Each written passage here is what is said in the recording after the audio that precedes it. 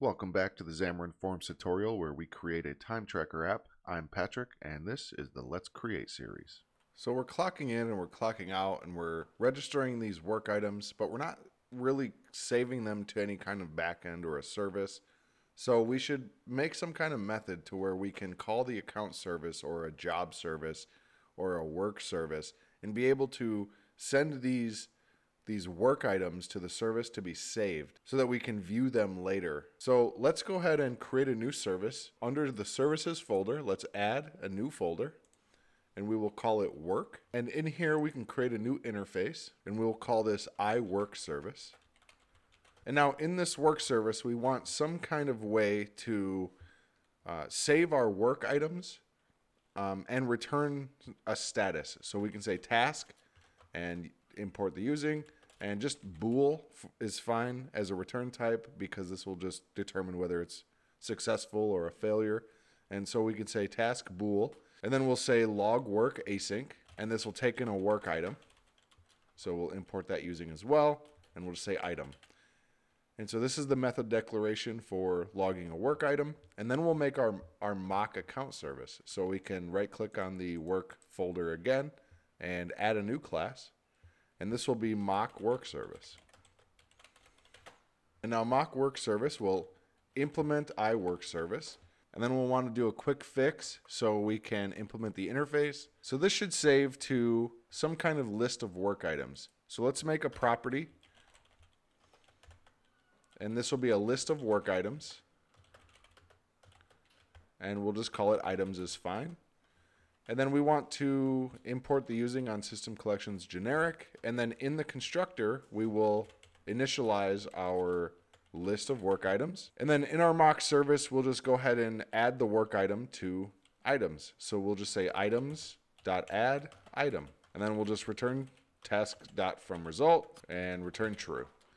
And so this will just simply mock some kind of service that saves our work items We'll add the work item, we'll return true, and then the consumers of the service can uh, just save work items and be notified of success. So now back in the time clock page model, we want to get a reference to that service. So we'll head back up to the constructor and we can just add it in the constructor. So I work service and we can just give it a name, work service. And then under the account service, we can say work service equals work service. And then we'll just use the quick fix and it'll add work service under the account service and we can use quick fix again to import that using. And so now that we have a reference to the work service, when we clock out and we add that work item, we'll make it an actual variable so we can save it to the work service. So we'll say var item equals, and then we'll just cut this out of here and we'll paste it here. So it, var item equals the work item that we created and then we'll pass into the insert method just item. And now that we have that variable, we can save it to the work service. So uh, let's make our method asynchronous. And then we can await work service dot log work async, and then we can pass in item. And that will save this to our mock service and eventually our backend. And so when we come back to this page from like a new launch, uh, it'll lo- we can load all of our work items from that work service. While we just save it to a list that um, stays in memory of the app, when we close the app and reopen the app, we won't have reference to that. That's why it's just a mock service. But we're preparing for a real service by making this mock service in a way that we expect it to work. We'll also want to load our work items when we first get to this page. And so in the initialize async method, under hourly rate, we can get today's work items. So we can just say work items equals await work service dot get today's work async. And then this can be a method that we add to the work service and it can go to the backend make a query for any work items that have today's date and return them. And it'll return to this page model so we can use it on the page. So let's go ahead and make this method.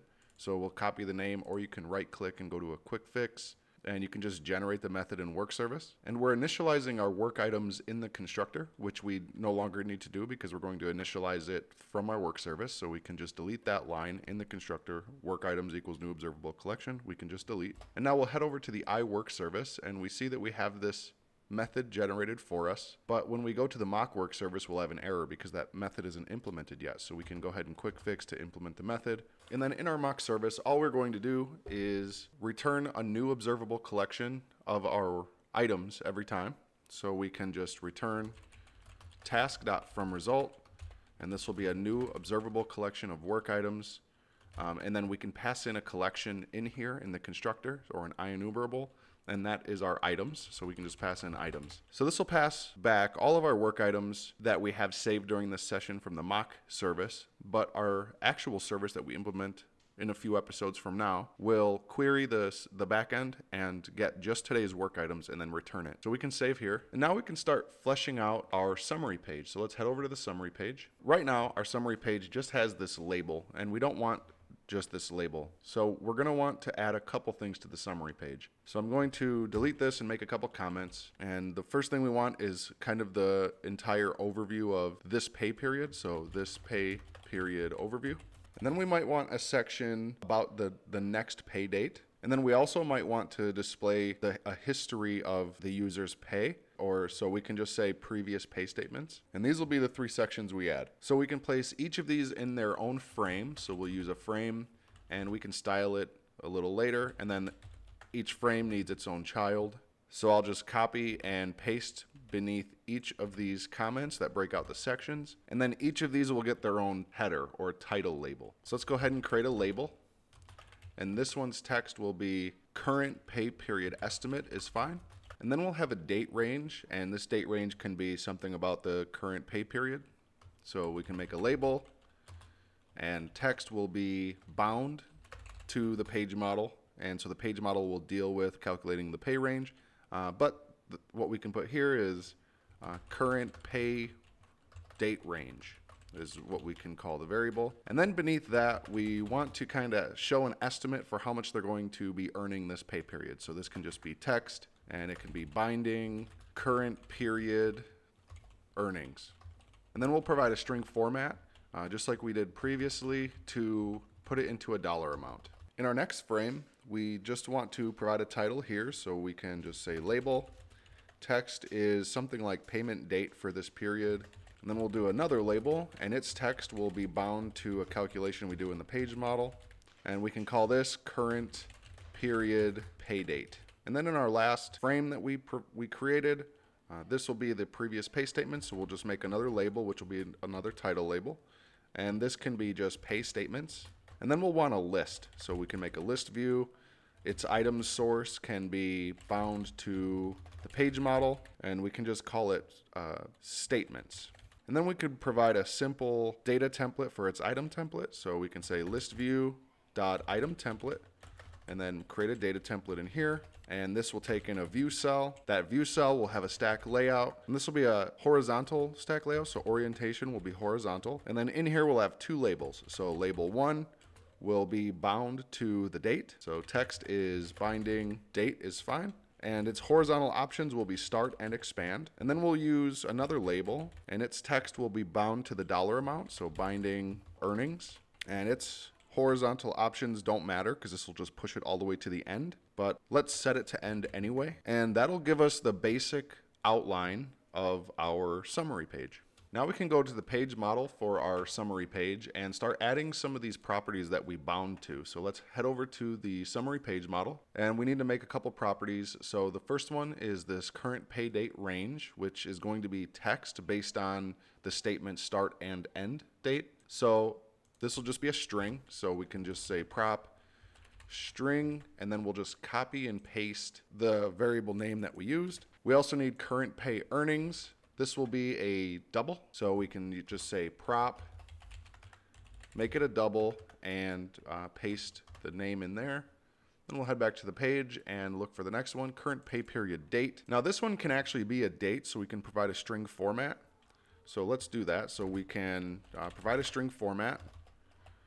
And our string format will just simply be MMMM, which will give you the full text for the month. And then we use a single, single digit day, so just a lowercase d, and then the four digit year. And this will provide some kind of a format to our current pay period date. So we need to copy this variable name, head back over to the page model and make that property. So this will now be a date time and we can paste in the variable name. The next variable we want to grab is or create is a observable collection or a regular list of statements. So we didn't haven't created those models yet, so we will here in a moment. But let's go ahead and create that list. So we can just say prop again, and this will be a list. And for now, we'll just say object. We'll name it statements. So we'll just paste in statements. Now, pay statement, the object itself hasn't been created. So let's go ahead and create a pay statement. So we'll head over to models and we'll add a new class. I'm going to name this class pay statement. And this is going to just model the data for a pay statement, so the information we need for a pay statement. So a pay statement needs a couple properties. Uh, the first one will be um, a payment start, so a date time, and we can just name it start. We also need an end, so public date time here and end. We'll want the actual payout date, so public date time date. And then we'll also want the amount, so that can be a double, and this will be amount. And then the last thing we should track is a list of associated work items. So we can just make a list, work item, and we can just call this work items. And then we can import the using. And then I'm going to add some comments so that it's easier to understand what these are. So the start is the pay period start date. The end is the pay period end date. Date, again, is the payout date for the pay period. So payout date for period. And then the amount is the payout amount. And work items, I think, is the most obvious one, but let's go ahead and provide a summary for it as well. This is a list of associated work items for the pay period. Okay, and now we can head back over to our summary page model, and we can start making these properties bindable so that they can notify the page when they get updated. So we need a private variation of each. And now when we get to statements, before we create its private variation, we're going to change object to pay statement and we'll import the using and now we can create its private member. And now for each of these we will follow the same pattern we've been using so we'll get get will return the private member and set will use the set property method referencing the private member and pass in value. And so we'll do the same thing for each of these. And when you're done you should have something that looks like this. So now we can create our constructor. So just public summary page model. And in here we're going to want to require some kind of service dependency that can give us all of our pay statement history as well as the current pay statement details. So we need to create a new service. So let's head over to services and create a new folder. We can name this folder statement, and this will be our statement service. So let's add a new interface. We can call it iStatement service. And then we'll also add a new class, which will be the mock implementation. So just mock statement service. Make sure that class implements the i statement service. Let's save all and register the services into our page model locator. So heading into here, under account service, we can just say container.register i statement service, import the using, and then register the mock statement service. Okay, with that registered, we can close the page model locator and we can head over to our statement service interface. And we know we want a couple things. We, based on our page model, we want our service to return statements, so it'll return a list of pay statement objects. And then we also want a way to call our service and get current pay period details. So first thing we'll do is add the service dependency into the constructor. So we can say I statement service, import the using, give it a name, and then we'll just cache it locally. So statement service equals statement service. And then when we use a quick fix to create this, I think it puts it in the wrong spot, so I'll cut it from here. I will paste it above the constructor, and we're good here. So now we can override the initialize async method. And in the initialize async method is where we can make a call to the statement service to get our statements. So let's make this an asynchronous method. Instead of returning base.initialize, we'll just await it. And then in here, we can just say statements equals await, and now we'll just await our statement service dot get statement history async.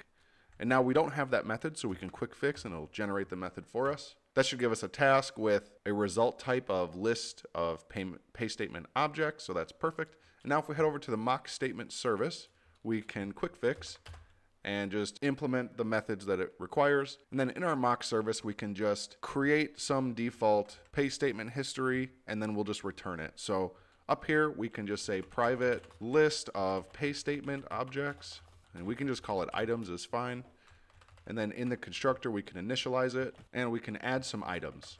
So let's just add some default items of so a pay statement. So we can just say the amount is uh, ten dollars for the first one. The payment date we can just say is you know last Friday. So date time dot parse and in here we can put our date string so 06 12 2020 and we will say that that is the Friday after the pay period closes. So if our payment date is on the first Friday after the close of our pay period, then our pay period start will be uh, datetime.parse, and this will just be 05 24 2020.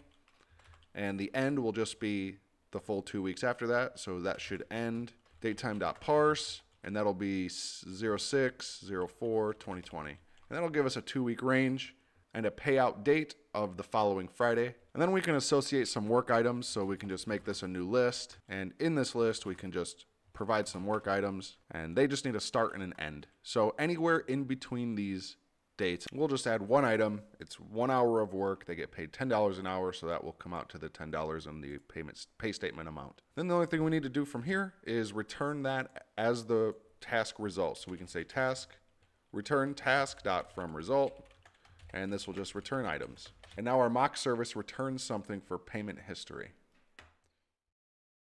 And that's where we'll end today's video. Don't forget to like the video and subscribe to the channel. If you have any questions, leave them down below in the comments section. This is Patrick from the Let's Create series, and we'll see you next time.